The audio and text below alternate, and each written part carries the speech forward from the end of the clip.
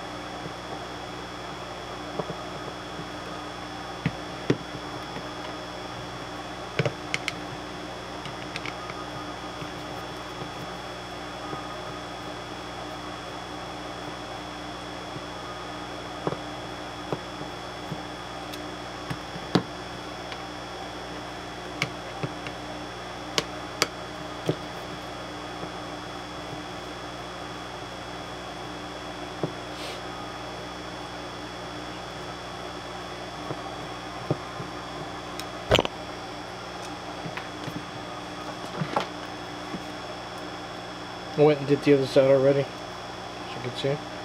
Left four to hold the heatsink up on the front part. And got a new Weller. Something that can actually um, get hot enough to go the solder on this. My old one doesn't uh, cut it.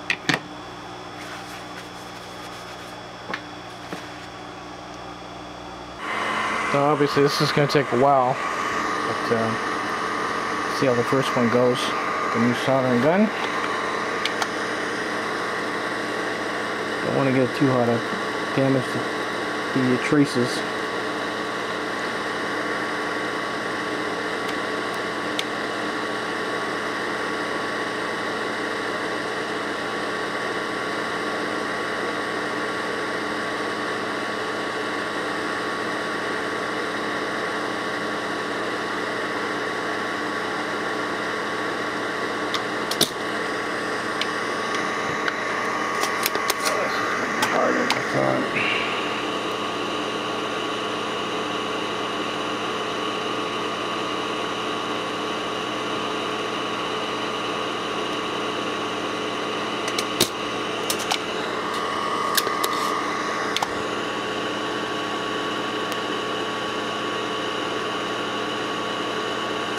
Let's try it different.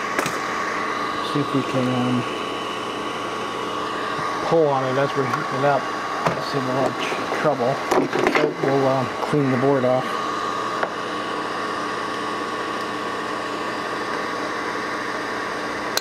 There's a number of ways you can do it. If you don't want to save the fets, you can just cut the legs and then pull the legs out. We're just going to try heating it up and pulling down on the fet.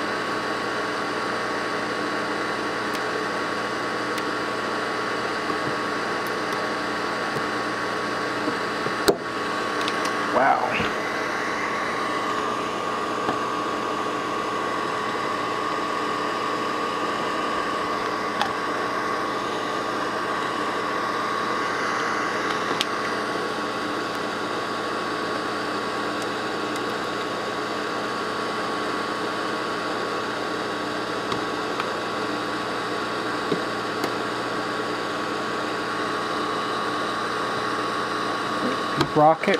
There you go. Once you get that far, you can um, basically just uh, heat it up and pull the solder through the hole. But uh, there's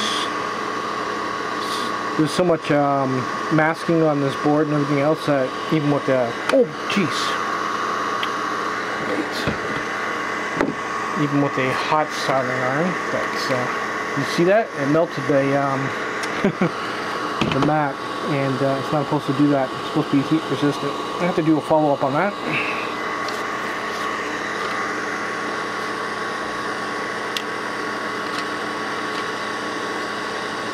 See my old one wouldn't have done that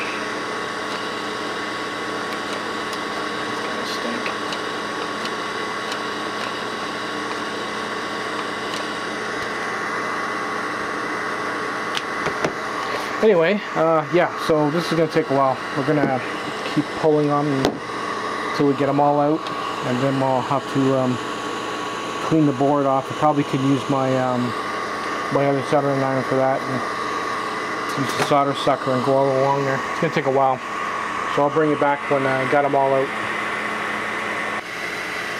One thing I'm going to say is just remove the heat spreader. Um, trying to get the, the first FET in is serious pain in the butt. This board is very tight, like the uh, the holes in that. So you get a little bit of solder in those holes, and uh, they don't fit very well. Like even from this side, I can barely get the um, through hole. You know what I mean? It's very tight. So this is definitely going to take quite a while to get done. So what I think what I'm going to do is just to make sure these FETs are compatible with this controller is I'll do one and then uh, put it back together and power it up. Just barely fits in there. But uh, I don't know. We'll see what we're going to do here. Might as well just keep going. But like I said, you're going to have to heat it up, pull them at the same time. Really not made to be serviced. Well, you guys didn't miss much. That was a total pain in the butt. There's the uh, pile of FETs there. I had to literally pull them all out like teeth. Uh, basically just heated up the board, just soft enough to pull them through without damaging the board. Uh, in total, I had one pin snap off. I had to use needle nose to get it out. And a bad trace on the inside, which isn't severe. The trace is thick and it goes right to the pin, so I could just basically bridge it with solder. Um, and there's half a ring of the uh, the loop or the hole where the uh, leg comes through the board. It half it's there, so I'm, I'm good there. So all I'm going to be doing now is uh, soldering these, double checking my joints, obviously make sure I loop, use the loop and make sure there's nothing touching. And then take all the screws out and then do the other four. And um, uh, the, the, last part of it will be taking this uh, heat sink right off and fixing, obviously fixing that, uh, touching up the solder on the inside and um, fixing that bad trace that I, I messed up. But uh, so far so good. It, uh, it's easier if you, I had to remove one, one uh, capacitor to get at the end, one the end screw here. These ones here sort of moved them out of the way to get at them. But um, so far so good. Uh, if I ever do this again with this type of controller, I probably will purchase a um, solder sucker. You know, the type where the um, it's a uh, half solder sucker and half uh, uh, soldering iron. I do it that way. This one works, but it'd be easier if you had both of them with the automatic sucker. So anyway, I'm just going to solder these up, and then we'll uh, take this off and remove the other four.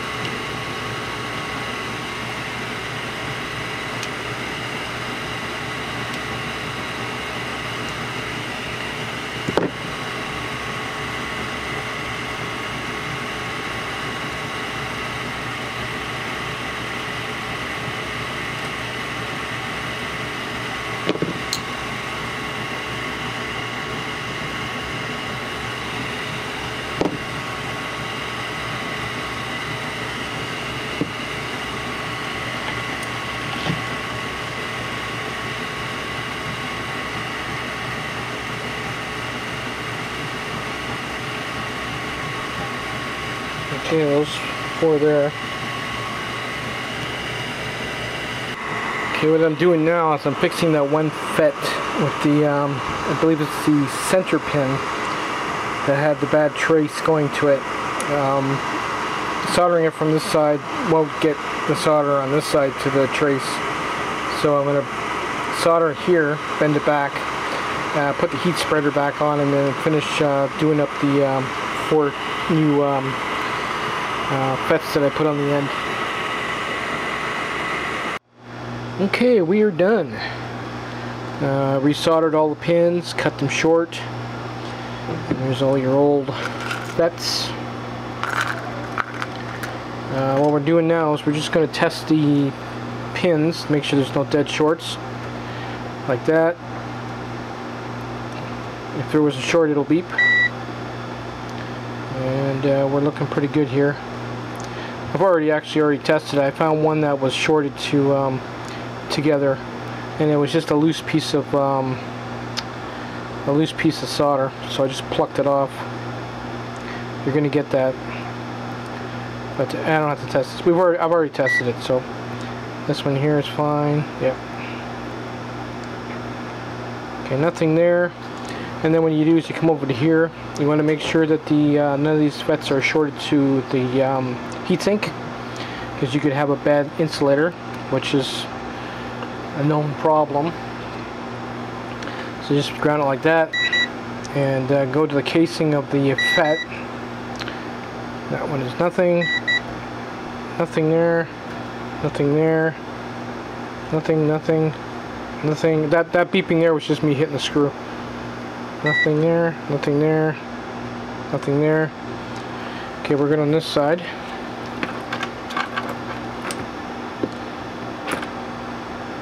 I just want to show I'm fully testing it before I plug it in. And uh, I'm going to stick the meter on it. I'm not going to put it right up to the motor yet, just yet. That one's alright. That one's alright. I just keep nicking the, uh, the screw. Nothing there, nothing there, nothing there, and nothing there. So we're good. We'll just do a, I'm going to get some brush and brush it just to make sure there's no more um, solder floating around on it. And then we'll uh, hook it up to the bike without the motor and we'll stick the uh, tester on it. Okay, take two. Well, we've already blown it up once. Uh, center phase, I lost two FETs. Uh, I don't know if it was from just a bad FET or bad solder or what, but yeah, it blew. So I replaced the two that were bad. Uh, maybe it was bad out of the batch, I don't know. But um, gonna fire it up again, see if uh, some more uh, FETs come flying out of it. Parts anyway. There's a piece right there. well, pretty good. So if this blows up again, then um, yeah, I don't think it's going to work with these FETs. But uh, we'll try it anyway. I keep putting it off. I don't want to do it because if it does pop, then um, I'm going to have to give up on it. Here we go. Nope, something's gone bad. It's, as soon as I turn it on, it's, it's not tripping the breaker. Well, I've never had a controller go so wrong as much as this one has.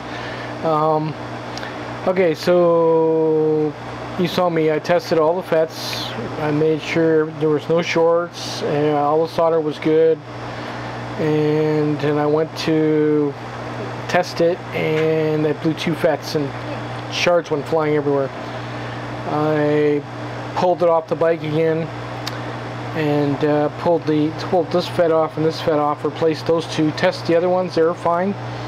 Tested again, it uh, you saw it, it tripped the tripper, the, uh, the breaker, and a puff of smoke came out, and it blew all six of them. So you get, my guess is you know your guess is as good as mine what it is. Uh, it's obviously something else on the board. Um, when I run into a problem like this, I just I give up. I mean, I'm, for one, I'm out of FETs and I can't I've already tested all the all the other parts I can't see any of the problem any of the problem with it so I don't know you know I, am gonna take my losses I paid 109 for it I'll order another one but at this time I'm not gonna monkey with it uh, this is probably the first controller I've had that's uh, gone bad right off the bat uh, all my other ones I've done they upgraded to FETs and they were fine so everything gets recycled I recycle all the wiring. Uh, I'm going to recycle the case and make another project out of that. Uh, the FETs are all good, so they're going in the container for when I work on someone's dead controller. I can use those as uh, parts. Um, the screws and the insulators get saved. Really, it's about $100 worth of parts anyway, so. But um, the board and the caps aren't worth saving. And uh, when I did actually take all the FETs off, eventually, you know, when I gave up and I hooked it up to the bike, it turned on without tripping the breaker. But uh, it was giving me um, an error message on the uh, LCD. So there's definitely a problem with the board. So that sucks. It doesn't always work. Well, actually, this is literally, this is the first time I've uh, run into this, so I'm not even going to bother. Um, I'm just going to go and order another one and drop it on the bike and use it as is and overvolt it. So, later guys. As you can see, no real loss to me. FETs, FETs, FETs, power resistors.